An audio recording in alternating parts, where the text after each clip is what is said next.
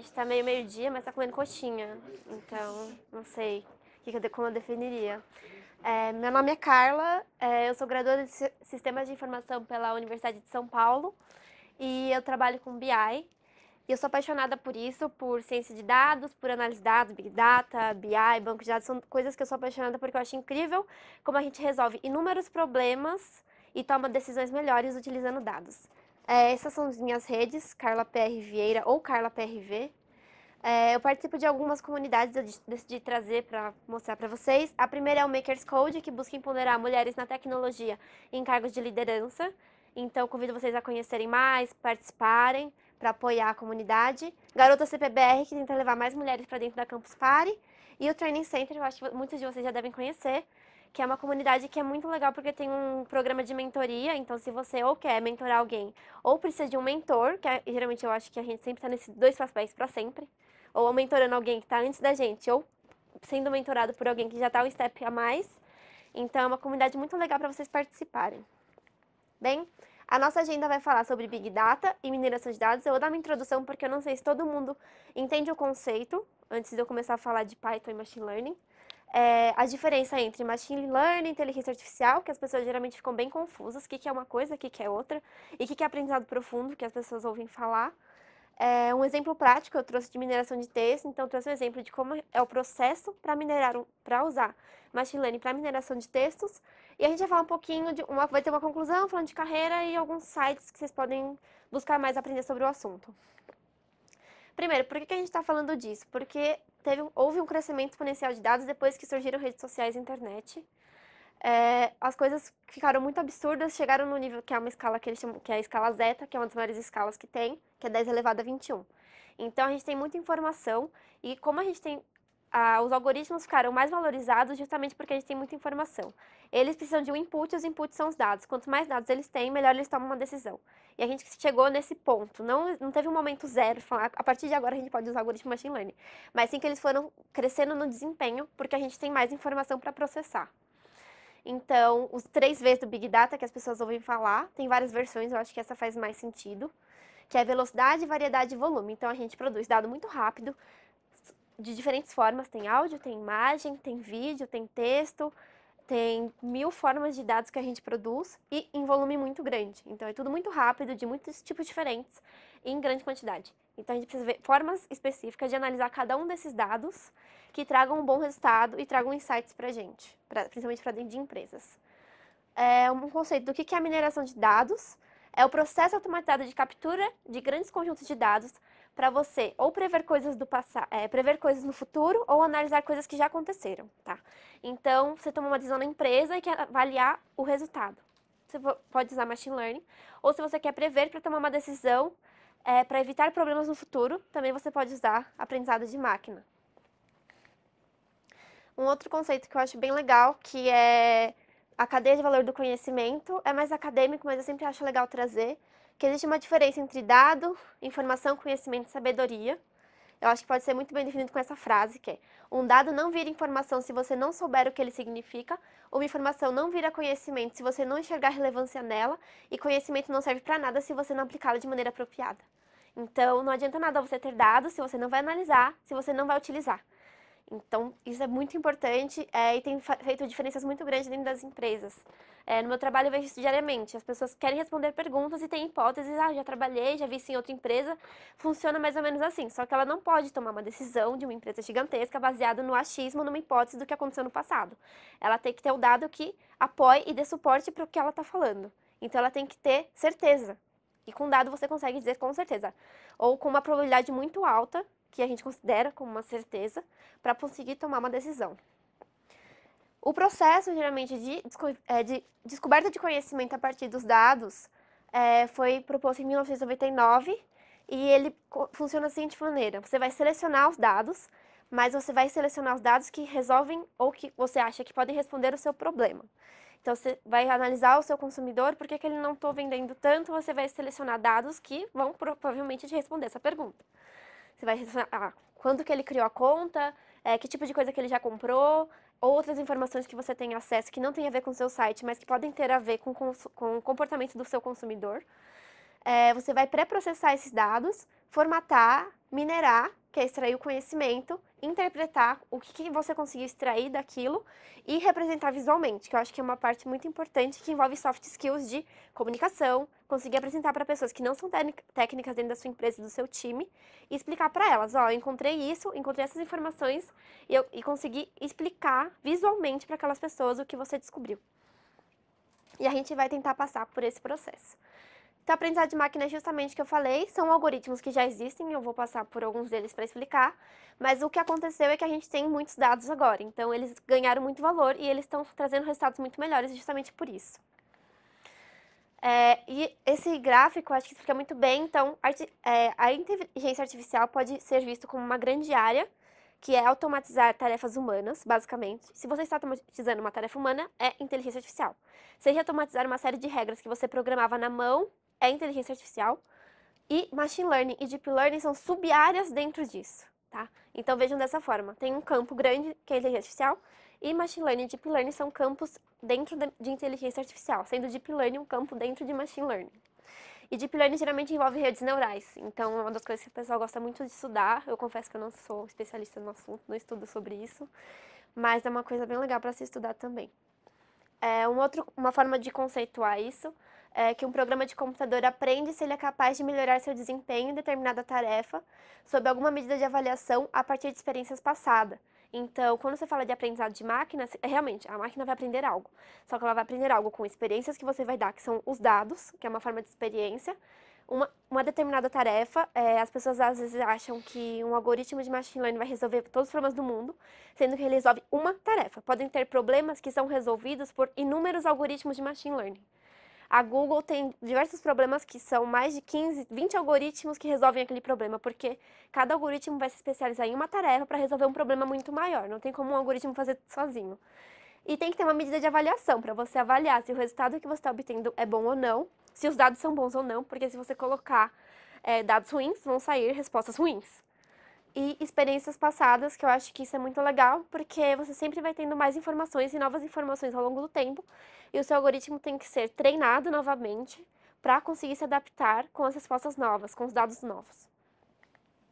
Um exemplo é o Google, acho que vocês já devem ter visto o Smart Reply, que ele te dá umas sugestões de respostas por e-mail.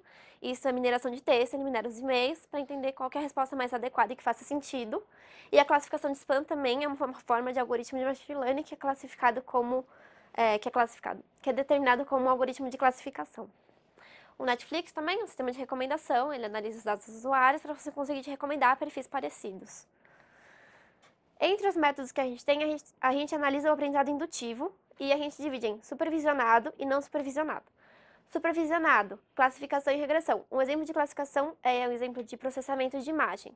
Você já deve ter visto APIs que você coloca uma imagem e ele te fala que tem na imagem. Ah, tem uma garrafa, tem uma pessoa que, pode, que ele pode determinar é um homem ou é uma mulher de tantos anos.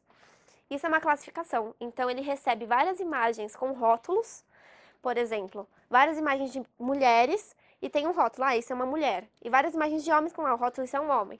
E ele tem que a partir quando receber dados novos, conseguir, com base no que ele já tem armazenado, comparar e classificar homem ou mulher.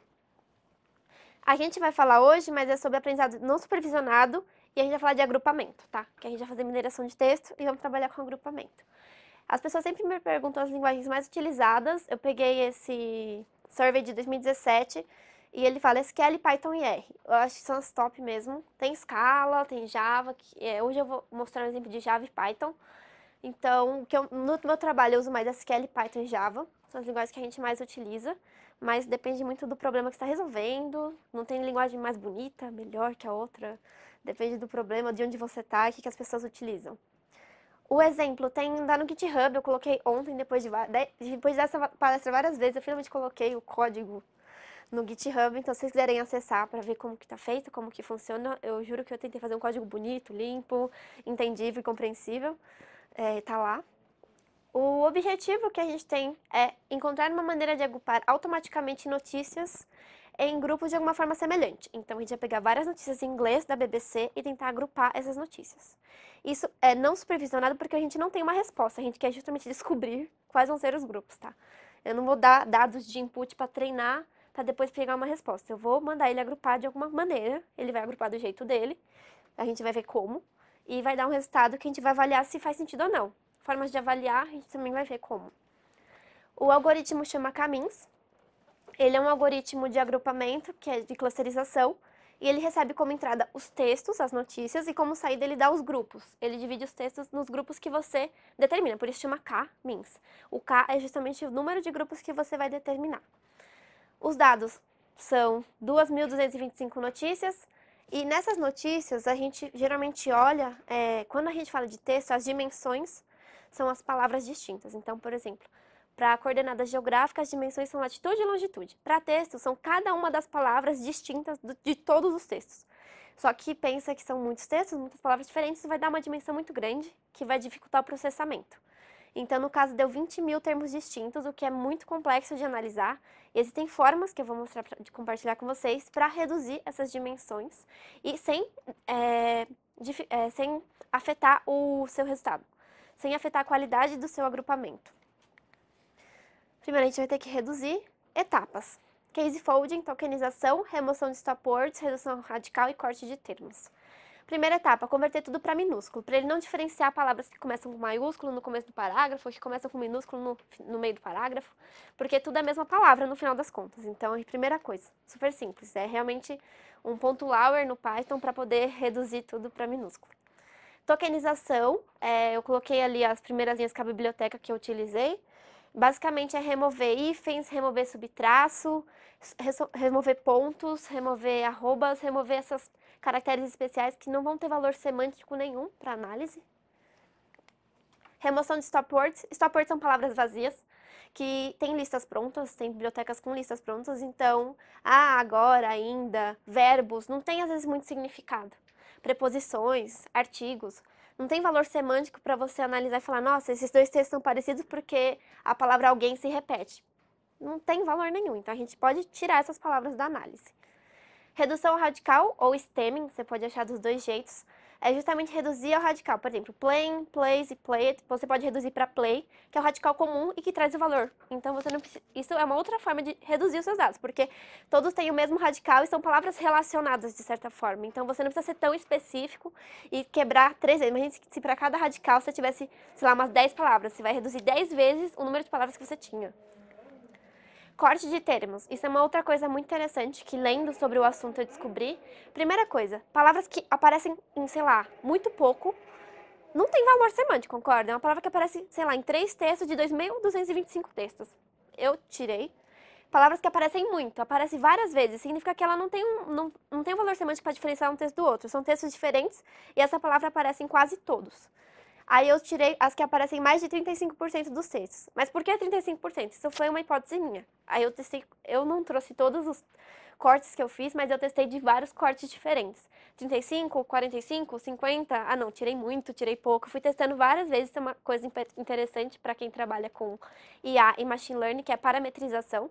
Então você tem que testar o seu algoritmo com diferentes parâmetros para ver o que vai funcionar melhor. E essa foi a dimensão, eu achei uma dimensão ótima. Eu até fiz um corte que tinha mil palavras, ele funcionou super bem.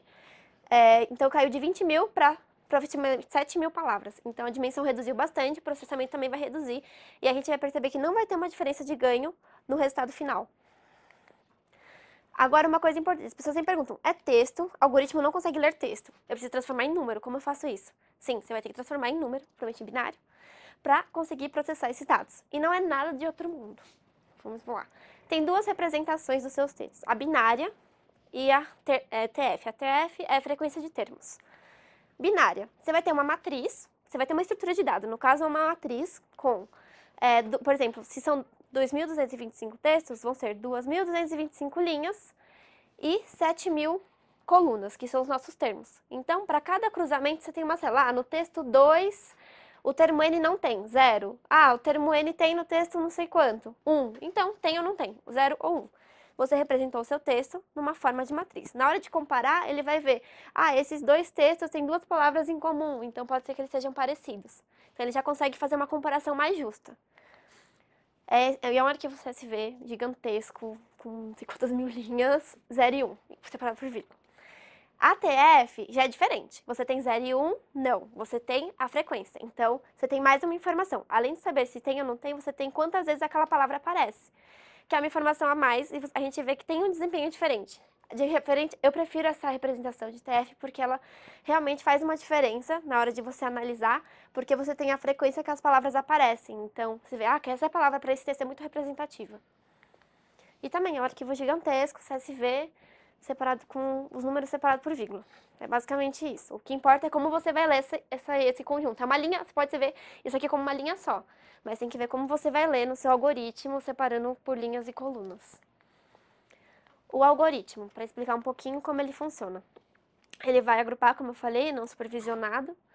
O que, que ele vai fazer? Isso aqui é uma abstração, tá? Porque no nosso caso a gente tem duas, seis, 7 mil dimensões. A gente vai abstrair para tentar, porque a gente não consegue imaginar, é, no caso de 2D, latitude e longitude. Você tem vários pontos num, num plano cartesiano, e aí você vai agrupar de alguma forma. E o que acontece? Você pode ver que tem cidades que poderiam estar em outros grupos. Connecticut poderia estar mais próximo dessa cidade aqui de cima. Eu acho que é Minnesota.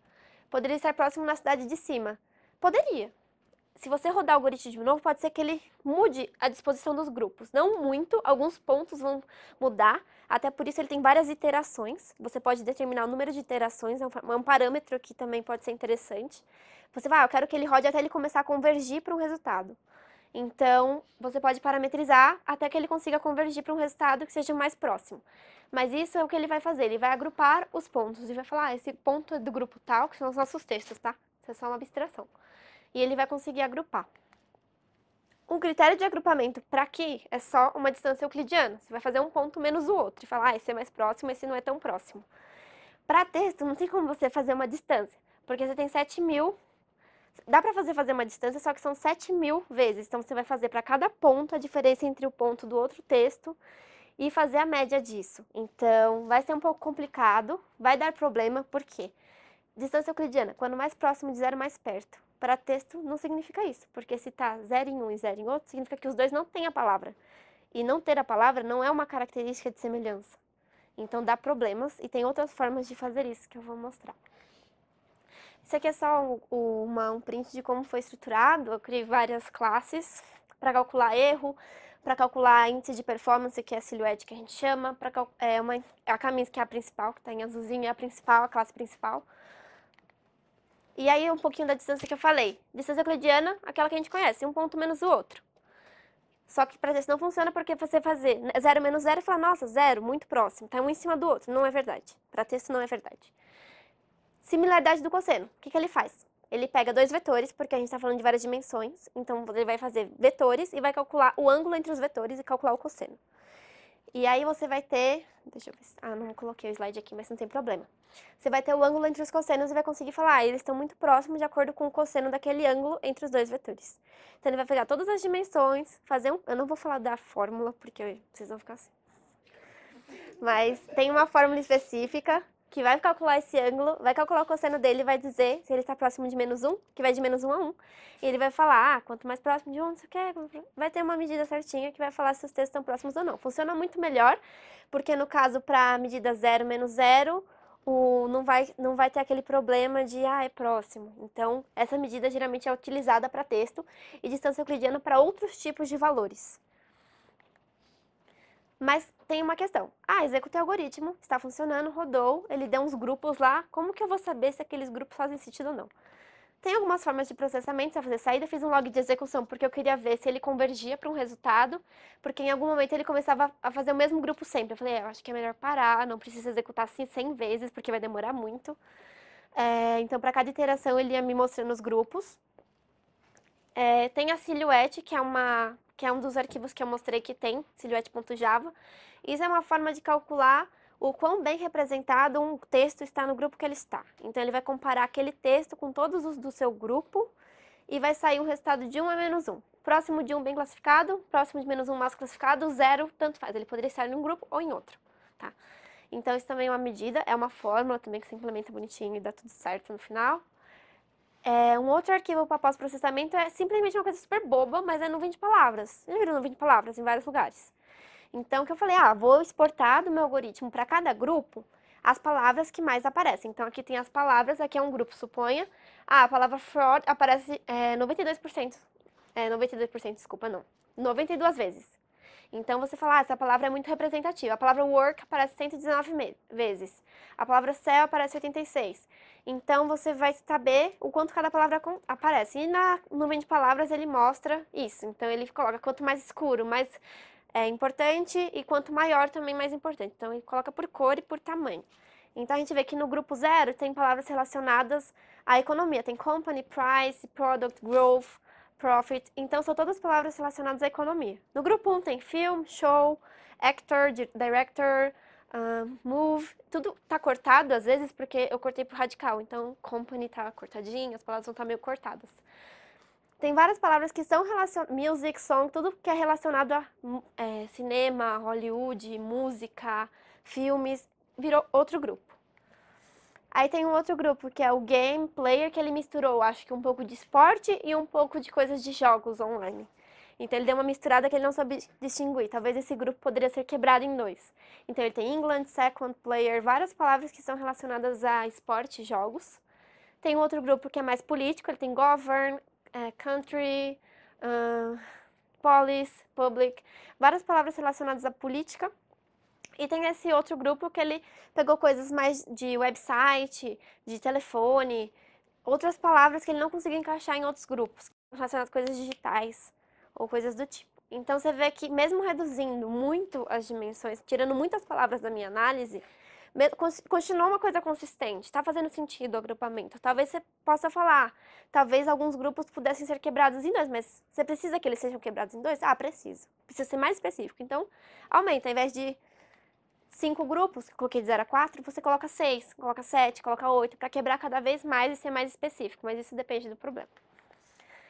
É, falando um pouquinho de carreira, as pessoas sempre me perguntam sobre como que é trabalhar com análise de dados, como é cientista de dados, como trabalhar com BI, como é mágico, como é incrível, como é um unicórnio incrível, passeando em várias ferramentas, porque tá muito no hype, assim, né? Sonho das pessoas é ser cientista. Cientista de dados é uma profissão luxuosa, tem um nome bonito. É, é, luxuoso o negócio, né? Mas não é, eu não acho nada de luxuoso. Eu converso com as pessoas que trabalham comigo, eu falei, gente, vocês se sentem super luxuosos? Não. Eu me sinto assim.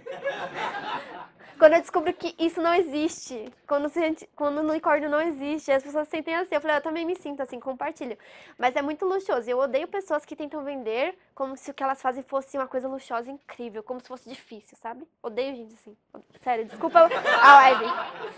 Mas é que eu realmente tenho um, uma, um ranço, assim, sabe? Que a pessoa. Não, eu trabalho com inteligência artificial, machine learning, eu sou data science. Scientist, né? Desculpa. E a pessoa fala, não, uma coisa muito difícil, é muito complexo, é... A pessoa fala, ah, eu posso estudar? Pode, mas é difícil, é acadêmico, você vai ter que fazer mestrado, você vai ter que fazer doutorado, você vai ter que...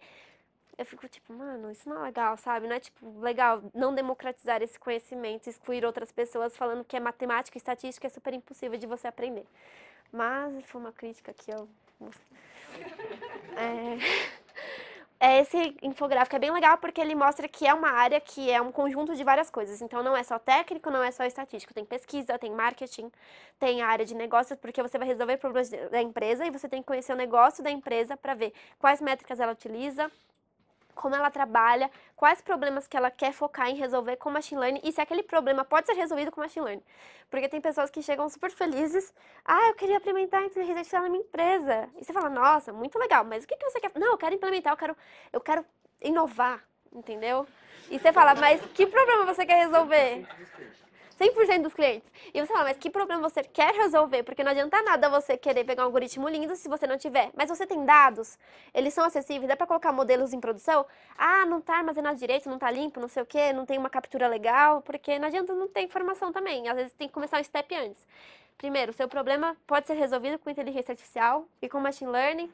Você tem dados para conseguir resolver o seu problema, senão vai começar tipo, ah, vão ter que montar uma arquitetura para conseguir armazenar os seus dados. Então, as pessoas Blockchain. Essa palavra as pessoas adoram, né? Adoram blockchain, gente. É uma coisa incrível. Então, envolve muitas coisas, envolve muitos soft skills, que eu, como eu, eu, eu sempre reforço isso, porque as pessoas acham que elas têm que ser só técnicas. Só que não é só isso, sabe? No dia a dia você às vezes lida com eu lido com muitas barreiras de negócio, entender como a empresa pensa, como o meu trabalho colabora com as coisas. Eu tenho uma dificuldade gigantesca, é uma barreira pessoal minha. Falo, cara, eu gosto muito de estudar coisas técnicas e estou falhando em entender é, como o negócio funciona e antecipar necessidades do meu chefe ou da empresa. Então, trabalhem isso também. Coisas para começar. GitHub tem muita coisa. Kaggle, para quem não conhece, é uma plataforma de desafios de IA e Machine Learning. Então, tem desafios que valem 25 mil dólares. Queria falar nada não, mas é sério. O problema é que as pessoas se reúnem em times e resolvem, empresas se reúnem em times e resolvem um problema porque você é um só e tem uma pessoa fazendo uma empresinha de 10 que vai dividir o prêmio. Então é complicado, mas eu acho muito válido para aprender, porque você consegue ver soluções de outras pessoas, como elas resolveram problemas que você pensou diferente. As pessoas comentam: "Ah, eu acho que nessa parte você poderia ter feito outra coisa, pensado de outra forma". Ou você coloca a sua solução que deu errado e fala: "Cara, me ajuda, por que, que tá dando errado?". As pessoas comentam para te ajudar. A Lura tem cursos também, Data Science Academy tem vários cursos, Coursera tem muitos cursos legais, eu coloquei tudo no final esses cursos, tá? E no Medium também tem vários artigos falando de coisas específicas que eu falei. Ah, tem um artigo só sobre redução sobre radical, só de stop words, só de stemming. Tem artigos específicos sobre isso. Data Hackers é uma comunidade muito legal de Data Science e não é só de IA. Eles falam com profissionais que é engenheiro de dados, quem é BI, quem trabalha com banco de dados. É uma comunidade incrível, tem no Slack, eles mandam uma newsletter fantástica que vem, tipo, dicas de vagas, eventos que vão acontecer em todo o Brasil, não é só em São Paulo que eles colocam. É, artigos sobre o assunto de empresas grandes, vídeos, é muito legal. Eu recomendaria vocês se inscreverem. Outra coisa, Serenata de Amor, eu sempre falo disso porque eles analisam dados abertos, isso é uma outra coisa que a gente pode usar nossas skills de dados para analisar.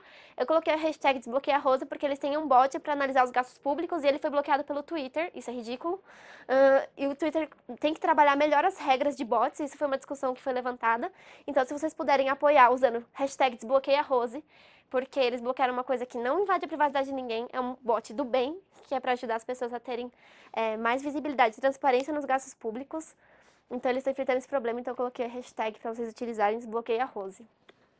Primeiro, obrigada pela atenção. Essas são as minhas redes e uma coisa extremamente importante, feedback. Por que, que eu peço feedback? Porque eu preciso de ajuda. Eu estou tentando palestrar para tentar quebrar vários medos pessoais. Vergonha, é, timidez, medo de falar em público, medo de falhar. Então, síndrome do impostor. Então, se vocês puderem dar um feedback real, tipo, ah, eu acho que isso você poderia melhorar, isso você poderia ter explicado mais, porque eu fiquei perdido nesse ponto.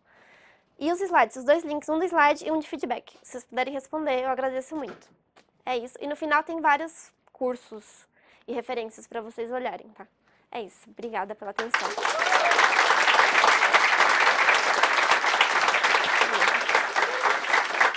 Se vocês tiverem vocês tiverem dúvidas também, eu vou estar por aqui o dia inteiro. Se quiserem perguntar agora, perguntem. Como que é uh, o tempo para processamento disso? Dá para fazer alguma coisa real time? Dá, dá sim. Ou demora muito? Não, não demora não. Por exemplo, Esse algoritmo rodou em, eu acho que dois minutinhos, tá? Mas tem gente que fez em, eu fiz em Java, tem gente que fez em Python. Em Python não roda tão rápido porque ele é mais alto nível. Então ele demora mais para rodar, certo? Acho que quem trabalha com Python sabe disso. Então demorou, sei lá, 10, 15 minutos. E o meu rodou muito mais rápido porque Java é mais baixo nível, então roda mais rápido. Demorou uns 3 minutos, mas depende da quantidade de dados que você tem, depende de como está a arquitetura que está criada para processar esses dados em real time, como que é a captura, mas dá para rodar sim, tá? A gente usa muito dado real time. Diga. É, eu trabalho com pesquisa, só que na parte de research. E eu vejo como tá na moda, entre aspas, é, o papel BI e research, um com é, quali e o outro com quant, digamos assim. Sim. As empresas andarem juntas. Só que eu percebo que tem uma dificuldade muito grande, talvez um, sei lá, um ah, eu sou super esperto, inteligente, eu- sei lá, tipo, toda vez que você pede o dado, pede a informação, vem aquela planilha cabulosa que você olha e fala, ok, vou fazer. Você chora. Isso, né? Tipo, ah, legal, mas você não consegue entender nada. É, isso que você falou das soft skills são muito importantes, porque não, tipo, eu não vou ter condições de interpretar o dado de um jeito que a pessoa que trabalha com isso, ela tá no dia a dia. E qual que é o caminho, o caminho perfeito para a gente fazer com que essas duas áreas elas realmente colaborem uma com a outra? Então, por exemplo, eu vou com o que eu quero ou preciso de informação chego em BI e peço esse levantamento dessas informações, ou, não sei, BI me manda um, um, alguma coisa geral da empresa e eu, com, com análise de pesquisa, vou lá e consumo essas informações, qual é o melhor jeito? Então, experiência pessoal, é, eu tenho lidado com isso porque, por exemplo, semana passada eu mandei uma análise por e-mail para várias pessoas, tipo, lideranças, e a primeira coisa que minha chefe me respondeu foi: Eu não entendi, fico confuso. Tipo, ela falou isso, e tipo, em várias pessoas. E eu. Que bosta. que droga. Mas porque eu tava olhando aquele número o tempo inteiro. Então, pra mim, aquela planilha estava ótima. fiz um Excel bonitinho, falei, não gosto de Excel, mas vamos lá. Coloquei no Excel, fiz tudo bonitinho, coloquei em cores, ficou mais confuso ainda. E aí eu achei que pra mim tava muito claro, mas eu parei pra pensar, eu tô o tempo inteiro olhando aquilo, eu tô há horas analisando isso. Então, pra mim é muito óbvio, mas para as pessoas não é. Então, eu acho que com o tempo você vai ganhando o feeling de como cada pessoa prefere. Tem pessoas que no meu trabalho que preferem que eu mande o raw data e elas fazem a análise. Elas gostam, preferem. Porque, ah, não, eu vou querer fazer coisa específica, só me manda os dados e eu faço análise. Mas tem gente que não, prefere ver tudo, um dashboard, prefere ver um gráfico, prefere uma tabela. Então, eu acho que é um pouco de incentivar o time a conhecer como que, trabalha, como que eles trabalham melhor. Pode ser que o meu time trabalhe melhor, que eu deixe as coisas semi-prontas e não tudo só mande, ou prefere que só manda o número por, ah, o número é esse, por e-mail, acabou. Ou não, tem que mandar toda uma planilha. Então, acho que é muito do, de cada time, cada empresa, de incentivar a trabalhar junto, a fazer reunião para alinhar como cada um gosta de ver, definir um processo de como é feita as análises para poder entregar para uma pessoa, porque cada pessoa vê de um jeito, prefere de um jeito. Eu acho que é muito é meio que um feeling que você vai pegando com o tempo. Ah, eu gosto, eu sei que essa pessoa prefere assim, prefere que eu explique o que eu usei. Tem gente que não, não vai querer saber se usei Python, se usei R, se usei. Não quer saber. Tem gente que gosta de saber, ah, mas o que, que você fez? Ah, como que você analisou? Como que você filtrou? Tem gente que gosta. Eu acho que é meio do time mas incentivar essa o time trabalhar junto, né? Pelo menos ter uma reunião, sei lá, para conseguir ver como que tá trabalhando e o que, que tá errado. Você fala, ah, tá errado, vocês estão passando as informações, eu não tô conseguindo entender. Tá dificultando meu trabalho, porque eu fico quebrando a cabeça, porque vocês não vão ter tempo de refazer. Porque eu entendo que assim, às vezes a gente manda, é, pelo menos assim, às vezes eu, eu mando uma lista de perguntas que eu gostaria que, de alguma forma, com os dados, a gente conseguisse responder junto essas perguntas. Só que aí me vem coisas assim do tipo, ah, é, eu tenho o acesso, mas eu não sei se usam ou não usam, sabe? Tipo, algumas informações assim que eu preciso de mais profundidade, mas eu não consigo ter, porque a, a barreira da comunicação, do que eu interpreto como importante e a outra ponta também como relevante, ela não está alinhada. Sim. Então, talvez. Sempre que vem, alguém me vem com uma pergunta, eu sempre falo, vem com uma. Ah, eu queria saber isso. Por quê? Porque só saber isso não me ajuda. Eu não vou uhum. simplesmente calcular uma média e te dar um número mágico, um magic number para você saber responder perguntas. Que as pessoas aparecem com magic numbers terríveis. Ah, eu vi num relatório um 10% de não sei o que. Você fala, mas você tem como ver atualizado esse número? Não sei, cara. Mas assim, é... essa questão que você falou é bem importante, porque as pessoas têm dificuldade de conversar e de. A gente tem que alinhar. Por que você quer ver esse número e explicar? A pessoa tem que ter a sensibilidade de dizer voltar atrás. É por que, que você precisa dessa análise? Ah, precisa responder, mas por que, que você precisa responder isso? O que, que você quer? O que, que você está buscando responder com isso? Porque a pessoa começa a ter uma troca de insights, a pessoa começa a entender como analisar problemas, não só puxar números. É, exato. Eu sinto que é muito. A, área acaba virando uma coisa muito mais. Estou puxando números. É, e não deveria ser. números e você se vira com essa informação pro que você precisa. Você deveria os dois conseguirem entender o problema. Claro que você vai conhecer mais do que você quer responder do que a outra pessoa, mas os dois deveriam para conseguir colaborar e falar, não, realmente eu acho, mas. Porque a pessoa pode falar, eu acho que isso aqui não vai te ajudar. E se a gente fizesse isso, você fala, puta, eu não tinha pensado. E aí vira uma colaboração. Os dois, os, aí entra na soft skill, os dois lados têm que conhecer o problema. Não adianta só, ah, é um robô que puxa dados. Não existe isso. Pode ser que um dia exista. Isso aí. Mas por enquanto não. Mais alguém? Deixa eu perguntar do cara. Pera. Eu vi que você, você implementou ele sozinho. Sim, implementei sozinho. Eu queria aprender mais. Aprendizado. Tem bibliotecas prontas, eu devia ter ressaltado isso. Eu quis implementar para conhecer, para ver como funciona. Porque vejo que as pessoas às vezes têm dificuldade de ler a documentação e não entendem como parametrizar o algoritmo e como melhorar o desempenho dele. Mas porque não. Cálculo mesmo, como que ele é executado, como ele funciona. Eu queria realmente aprender. Aí eu falei, ó, cara, eu vou tentar implementar na mão, acho que pode ser que funcione. E funcionou, super bem. Ah, e você comparou com alguma implementação? Não comparei, eu acho que eu devia fazer isso. É, porque você poderia usar o ECA, por exemplo, que é bem comum no, no Java, Eu acho, sabe? sim. Eu acho que ele deve ter caminhos, né? Ah, tem sim, provavelmente tem sim. Me falaram na época. Eu falei, não, eu quero implementar. É porque é legal. implementar na mão, às vezes até fica mais rápido pro, pro seu cenário, né, que você está testando. Sim, mas é bem legal implementar na mão. Eu recomendo, assim, se quiser para aprendizado, é muito, muito legal. Você conhece mais do algoritmo, entende melhor como ele funciona, vê onde pode ser melhorado, pode fazer uma versão diferente, que é a sua versão. Eu, eu gostei. Claro que na vida real isso não vai, não vai ser isso. Em muitos casos vai ser usar uma biblioteca pronta, o algoritmo já está pronto. Tem a pessoa ali atrás. Talvez na mesma linha do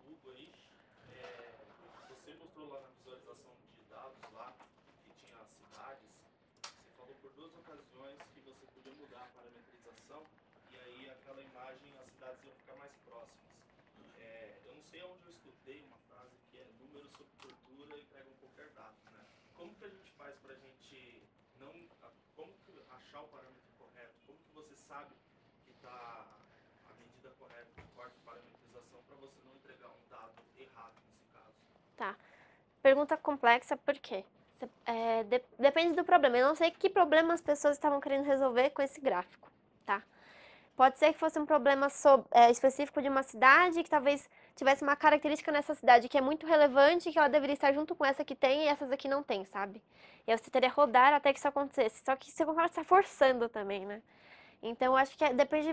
Desculpa não ter uma resposta perfeita, mas é que depende muito do problema, depende mesmo. E você depende do número de ite- essa questão da parametrização tem número de iterações que você vai rodar, tem quantos grupos você vai dividir. Então, quando não é supervisionado, que supervisionado é mais fácil, tem a resposta final. O não supervisionado nem sempre você tem a resposta final. Se você tiver a resposta final, o que, que pode acontecer? Você pode comparar. Nesse caso eu tinha, os textos tinham rótulos, mas eu rodei sem rótulos porque eu fui rodar um algoritmo não supervisionado, porque a ideia é automatizar o agrupamento poderia comparar. Esse texto de negócios está junto com esse texto de esporte. Não faz sentido. Acho que o algoritmo não rodou tão bem, tá? Pode ser que, se você tiver a resposta na vida real, você pode comparar. Mas aí você vai comparar com um subset às vezes muito menor, você vai saber. E aí, quando Sim, você tiver que expandir tem que esse tomar algoritmo, cuidado. Como você vai saber que na- no grande público ele não vai ter esse Tem que tomar cuidado. Isso é um problema que chama overfitting, que é sobre ajuste que chama, que é basicamente você criar um algoritmo que fique extremamente específico para os conjuntos de dados que você treinou ou rodou. Que é o que ele falou. O que, que vai acontecer? Você vai rodar para esse conjunto de dados, ele ficar extremamente bom para esse conjunto de dados, para outros ele vai parar de funcionar. Isso é um problema que tem, tem forma de resolver, tá?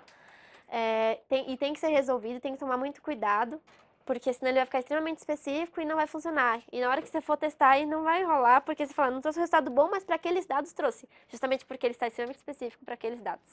Um exemplo muito legal de overfitting é. a- vocês já viram árvore de decisão? Já, vocês sabem como. Vocês conseguem. Quando eu falo ar- estrutura de dados em árvore, vocês conseguem imaginar? Ou não? Sim? Então, a árvore tem vários ramos, tem, um nó raiz, certo? E ela vai se ramificando. É, os algoritmos de machine learning geralmente vão se ramificando bastante, porque são muitas informações. Mas o que acontece? Se ramificar muito, muito, muito, muito, ficar muito grande, vai ficar muito específico. Chama de overfitting, aí tem esse problema que ele falou. Então, é um problema que é uma coisa que as pessoas têm que se preocupar também. Bom dia. Obrigada.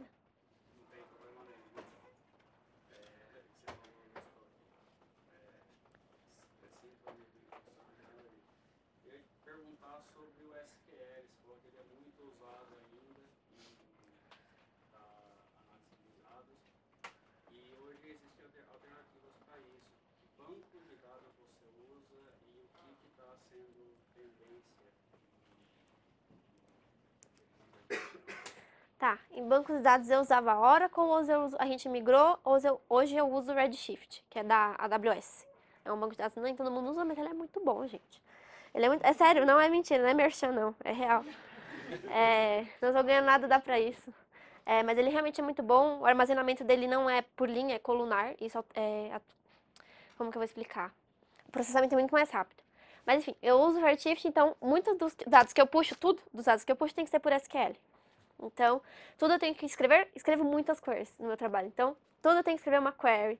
Eu tenho que saber escrever uma boa query, automatizar um report com uma query. Então, por isso que eu coloquei SQL. Eu acho que provavelmente por isso que SQL está entre as top lingua assim, linguagens utilizadas, justamente por você ter que puxar os dados. Se você trabalha com BI, você vai ter que escrever muitas queries. Acho que também tem aquele lado de já ter todo o data warehouse, o conceito de data warehouse criado. Sim. Eu vejo um contexto aí muito mais antigo, talvez. Né? Sim, também. Pelo menos onde eu trabalho, tipo, as coisas são antigas, então. E a gente não pode. Tem aquela questão de privacidade de dados. Então, eu poderia usar o Google Analytics? Poderia, mas eu não posso. Porque eu não posso compartilhar informações da empresa. É extremamente, extremamente sigiloso. Então, não tem como compartilhar. Então, você acaba tendo que puxar a raiz, tudo query do banco, direto. Isso tem certos problemas, mas. Mas é, teria influência de, nos algoritmos, eles têm que fazer muito, puxar muitos relacionamentos entre eles para fazer alguma... Isso é um outro problema do modelo relacional, relacionamentos. Então, você tem que fazer muitos joins entre as coisas. Isso é problemático às vezes. Mas é por causa do, dos algoritmos na hora que eles estão rodando, eles relacionarem e salvarem informações? Não, ou é não, não. É porque depende de como está feito o banco. Depende, falando um pouquinho, a gente mudou para banco de dados. Dependendo de como está o banco de dados, a gente tem que fazer alguns casos. Tem, agora tem bancos de dados não relacionais, no SQL, que ajudam muito. Mas dependendo da empresa, tudo é relacional, que é o meu caso. Então tudo tem que ser um join e tudo tem as pessoas têm dificuldade e aí os dados não batem, não fazem sentido porque está fazendo o join errado, não conhecem as tabelas muito bem, porque as tabelas geralmente têm umas 50 colunas absurdas. Mas é a Mas vida. então. É, você vai aprendendo, você vai ralando, suando. Não, pode A falar. questão do curso, do curso também. Às vezes você tem tipo, o seu modelo de, banco real time, né, o relacional. Aí você vai ter um outro modelo que vai ter tipo, para dados analíticos, que é a partir do data Sim, warehouse, sim. que é desnormalizado. Que não é o modelo. Sim, né, exato. Já tem é, queries específicas para fazer agregações, por isso que colunar é muito bom. Aí, dependendo da empresa, às vezes esse custo é muito caro, porque para você, tipo, duplicar seu dado e escrever isso de várias formas, sem os joins, acaba sendo muito custoso, né? Porque é o que o modelo relacional resolve muito bem. E, e por isso que eu acho que entra um pouquinho nessa, nesse limbo, assim, ah, relacional, não relacional, você vai para outro modelo de dados, vai para outro banco de dados. É- Era só para entender que é, é bastante usado, mas é mais em questão de mercado do que tipo de, nossa, isso aqui é muito bom para isso. Uhum, É, exato. Não é uma questão de "Isso ser muito bom. Não. Como já tá feito. Mais alguém? Ok. A gente pode conversar depois também, tá bom? Obrigada pela atenção de vocês de novo.